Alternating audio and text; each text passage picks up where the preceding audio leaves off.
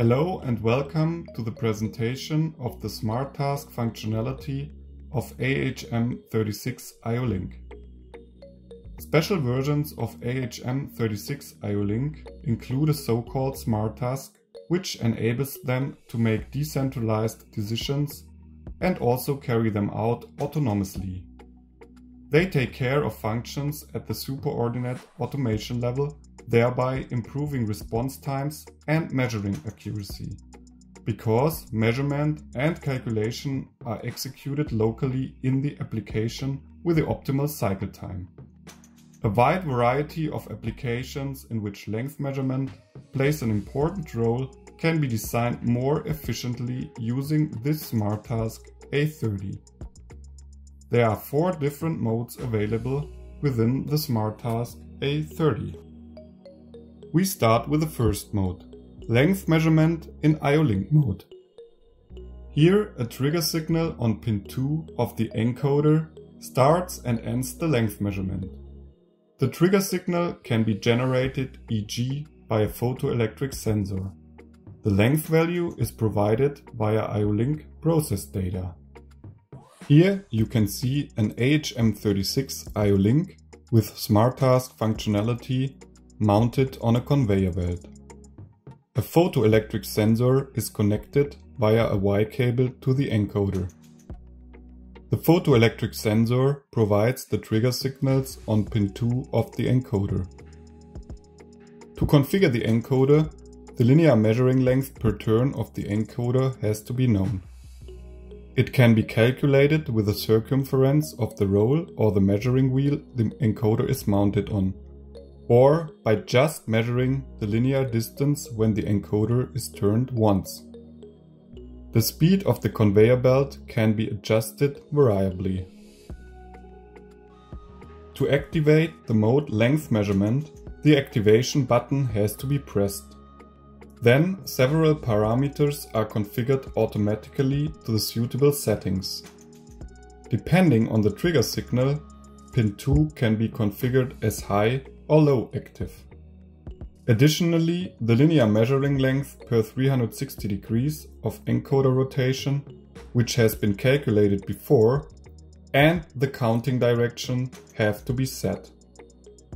Now, different objects with different length are put on the conveyor belt one after another and the conveyor belt is started. In the visualization of the process data, the results of the measurements are displayed. Also, if the speed of the conveyor belt changes, the length measurement still works precisely and reliably. Now, let's go to the second mode, length monitoring in IO-Link mode. In this mode, the trigger signal on encoder pin 2 starts and ends the length measurement again. The length value is provided via IO-Link process data again. Additionally, the user can set an upper and a lower limit for the length value to monitor the length value of different objects. If the limit values are exceeded or fallen below, an additional limit value bit is set in the IO-Link process data. For the length monitoring, the same setup is used as for the length measuring.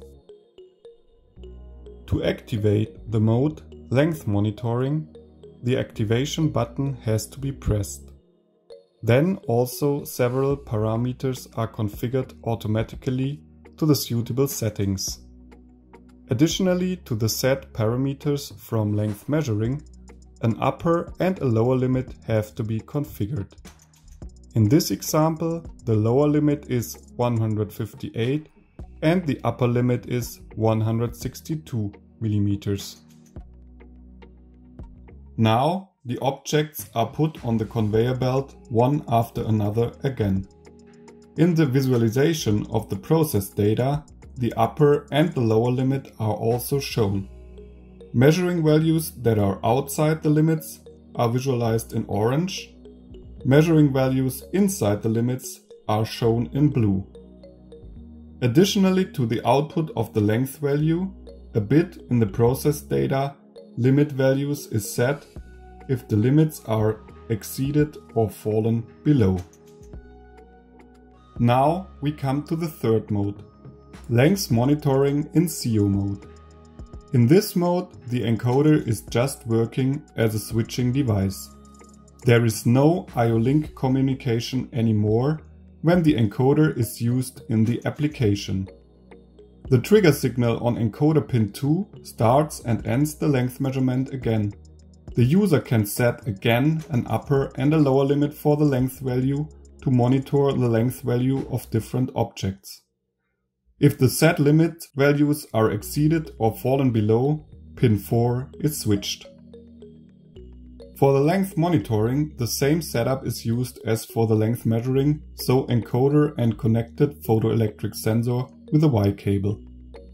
Additionally, the switching output of encoder pin 4 is connected to a sorter mounted on the conveyor belt.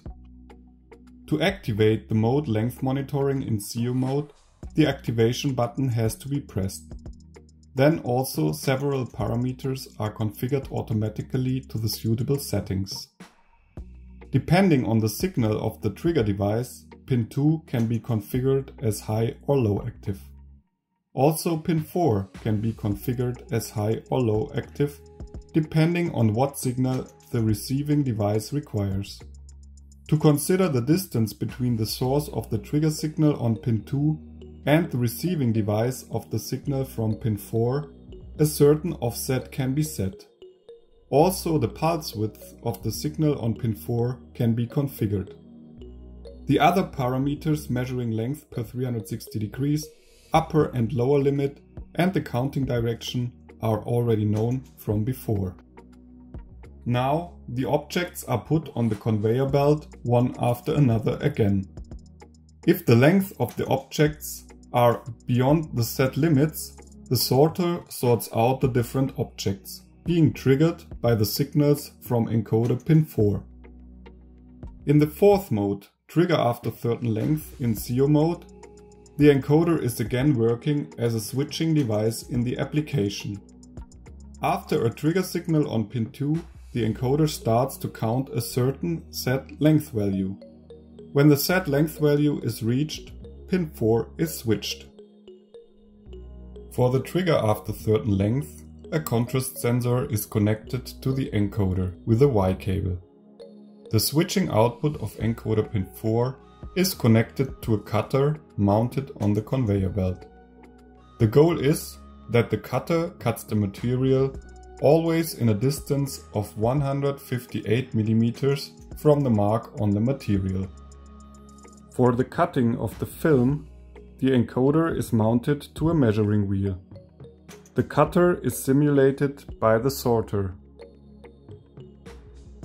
The parameters for the configuration are the same as for the length monitoring in SIO mode before.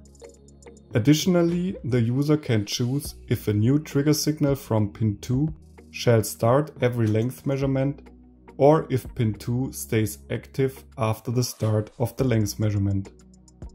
The offset value for the distance between contrast sensor and cutter is set to 380 mm in our example. And of course, the length value for the trigger has to be set. In our example here, it is set to 158 mm. Case 1. New trigger signal for start of every measurement. Now the material is put on the conveyor belt and the conveyor belt is started. The contrast sensor registers the mark on the material and triggers the encoder. The encoder counts the set length value and triggers the cutter. Case 2. Pin 2 stays active. Now the material is put on the conveyor belt and the conveyor belt is started. The photoelectric sensor registers the beginning of the material and triggers the encoder. The encoder counts the set length value and triggers the cutter. As you could see, the Smart Task functionality offers a convenient and intelligent way to solve various applications. Thank you for watching this video. Further information can be found under sick.com.